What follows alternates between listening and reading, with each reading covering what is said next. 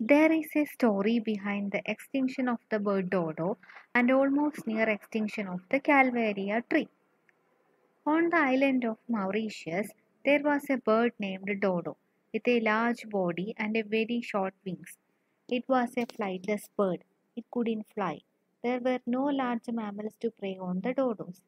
Some years after, sailors landed on this island and began killing dodos for food and they also brought animals to the island which ate dodo eggs and the dodo bird. So it all caused the extinction of dodo. In this island, there is a tree named Sideroxylon grandiflorum, formerly known as Calvaria major. The seed of this would only sprout and grow after they had gone through the digestive system of the dodo. The seeds are very hard and needed the dodo bird to crack it. So the tree depended on the dodo, and when the dodo became extinct, the tree became endangered. So, in total, coevolution with the dodo leads to the near extinction of the plant.